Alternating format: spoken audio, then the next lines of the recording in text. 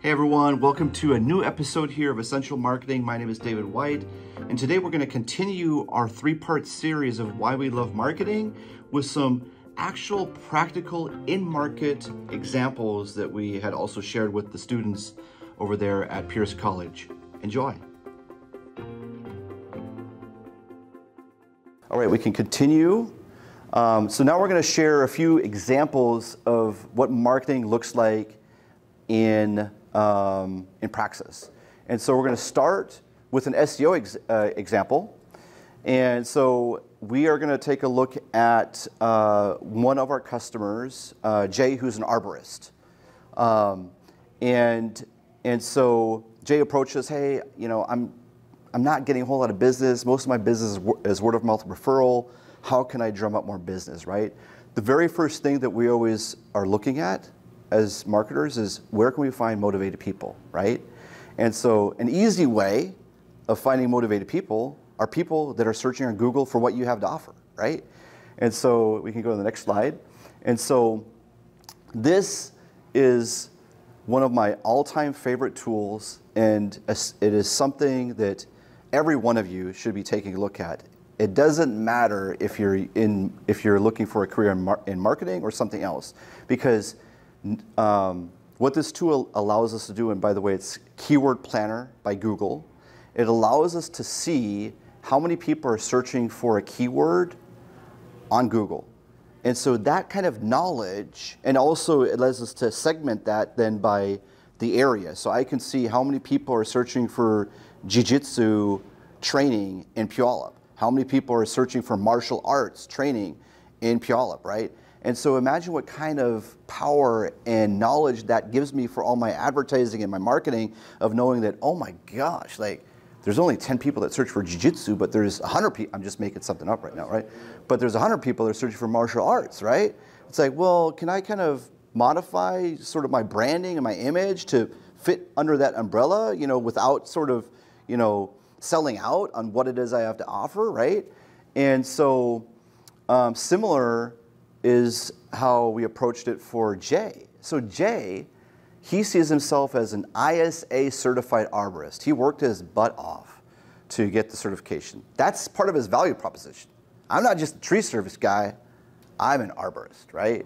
Problem with that, we can go on the next slide, is that for arborists, this is across the United States, it has uh, 49,500 searches across the United States, tree service 74,000, right? Tree removal 60,500, is that when you boil that down even to Jay's service area of Tacoma, Pierce County, him being solely focused on arborist is not helping, right? It's, you know, he's leaving all of this other money on the table and conversions and sales and customers on the table you know, by not saying, hey, I'm a tree service guy. Oh, I'm a tree service guy that has arborist certification, right? And, um, and so this is sort of like the very first step that we take whenever we're doing any kind of marketing is that, and we're going to take a look at another example of marketing here for demand generation, but there's no quicker way of being able to get leads than in, or customers um, uh, than being able to get in front of a person. They're literally going to Google and they're searching what you have to have to offer, right? And um, so it's the very first step for us. Can you go to the next slide? Um, um, actually, just to kind of wrap up uh, for Keyword Planner, um, and um, I think you even kind of mentioned that you're interested in marketing, but also kind of business, you know, and you know if there might be, if you're thinking about sort of entrepreneurship, your own company, maybe other people, Keyword Planner can be a great tool, right?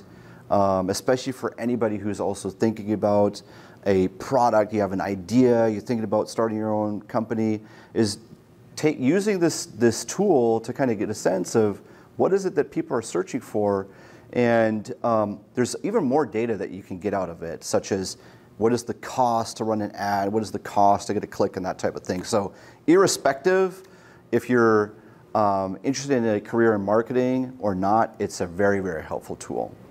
Um, so now we're going to take a look at a completely different type of case study um, in marketing. And this is now creating our own uh, demand. Okay, so for the arborist, we already saw there's you know over 70,000 people they're searching for tree service every single month, right? For for an organization like World Vision, well, one of the main things that they have to offer is referred to as child sponsorship. The idea is that you as a donor um, pay $39 a month and you're able to provide health, water, education, and a uh, safe spot for the, for the kiddo to live um, all the way through school, and you're doing something great. I love the organization. We sponsor five kids. They do phenomenal work. The problem for them is there's not a lot of people that wake up in the morning and they type into Google sponsor child, right? right? yeah. How do I sponsor? How do I donate? so, so we have to take a different approach to marketing and creating the demand for it, right? It could be similar also for jiu-jitsu, you know, if we're take, you know, there's, there's two aspects, you know, the low-hanging fruit are people that might be searching for martial arts, jiu-jitsu. There's always going to be a market of making it attractive to people that they have a problem they want to solve. I want to lose weight. I want to become more agile, you know, whatever that is, right? Then you could create sort of a story, you know, that would offer jiu-jitsu or martial arts as the solution, right?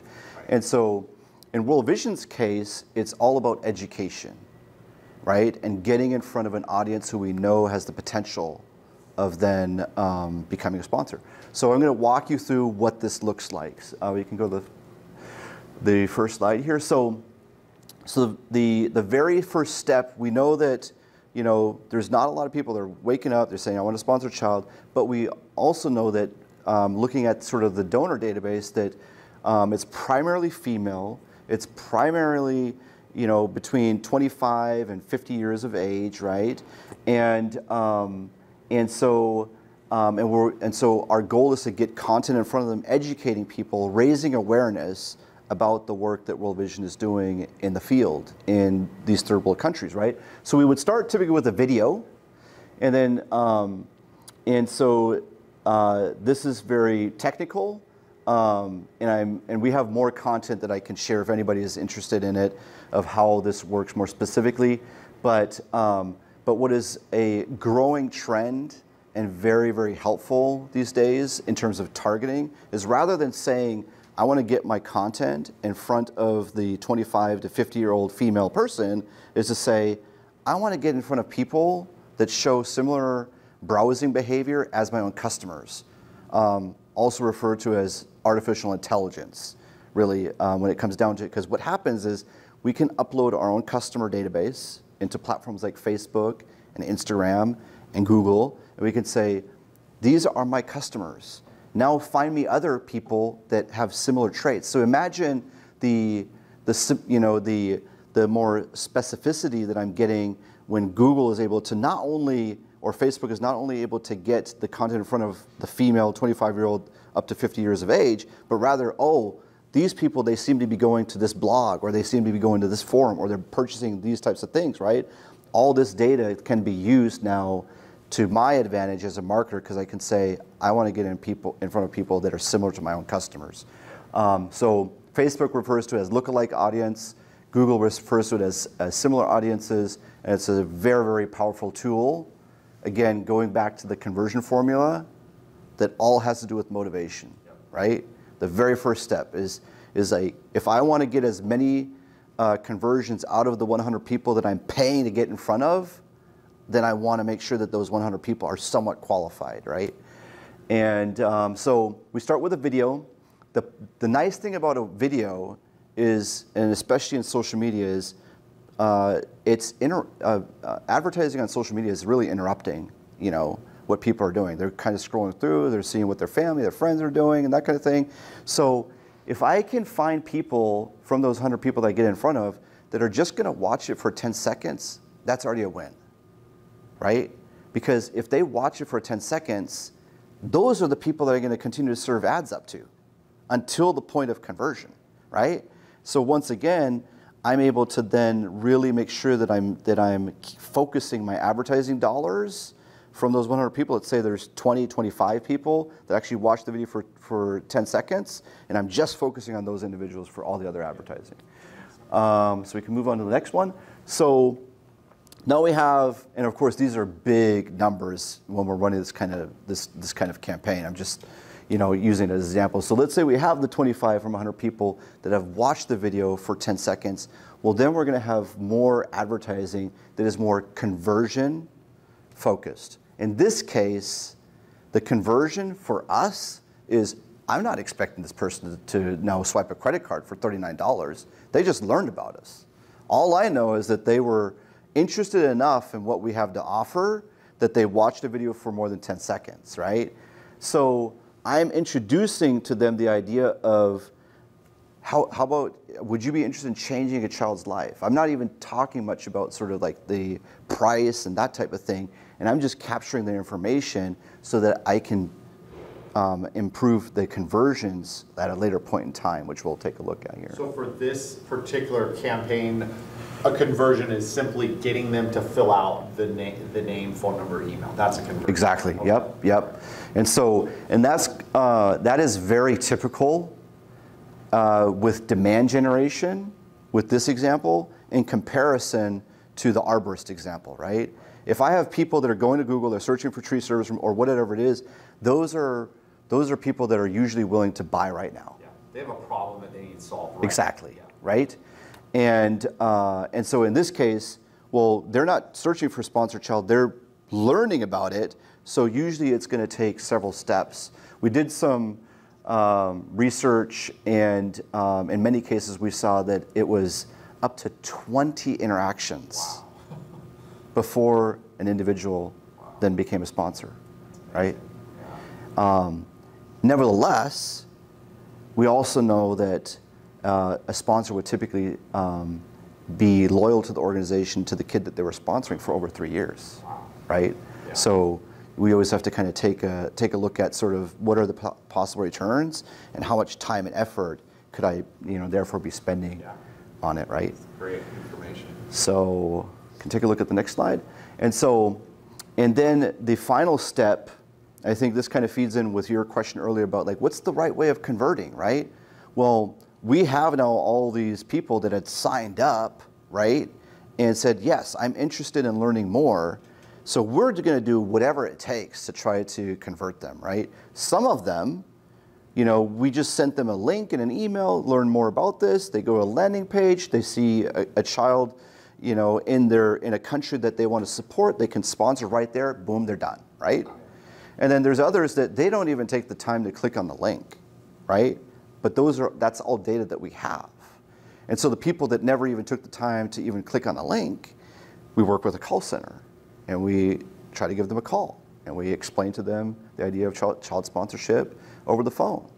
And in some cases, the call center would send them a link then to an individual chil- child's profile. And here's Cherry, she's in Ghana, right? And, and so um, I think the, the, the main idea and my encouragement for anybody that's working in the field of marketing is, especially when you have a, sort of a lead database, you want to be exploring every possible avenue of improving your conversion because um, you've already worked so hard to get the contact, right? So now you really want to make sure that you explore every avenue and being able to convert them, right?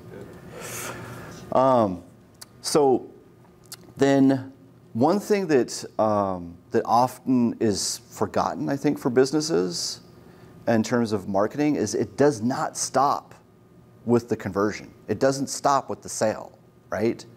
Um, but it, but um, there's huge potential, what we refer to as the engagement phase. And that is your customers, they've already purchased, in this case, we have individuals who are an existing sponsor from World Vision, right?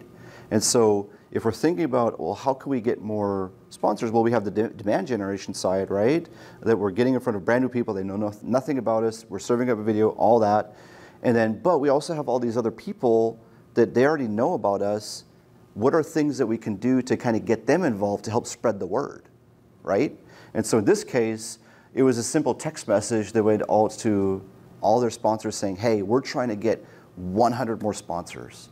You are a loyal and faithful donor that is able to achieve so much together with us. Would you share this information out on your social media to raise more awareness about the work that's being done in the community where your child lives, right? And, um, and so this is a very specific example, of course, to World Vision, but we oftentimes see that it's, a, it's something that's often forgotten, right? Uh, for businesses of thinking about like how can you even use your existing customers um, to uh, be part of marketing campaigns. Hey, I know that uh, there was a lot of information that we kind of packed into those examples. So if you have any other questions or would like to go deeper, or maybe you have a completely different question about the business that you're working for, that you own, we would love to hear from you guys. Feel free to reach out. We'd be more than happy to sit down with you guys and talk about your specific questions. And if this information was helpful to you guys, give us a thumbs up and subscribe to the channel. We'd love to see you in the future. Take care and bye.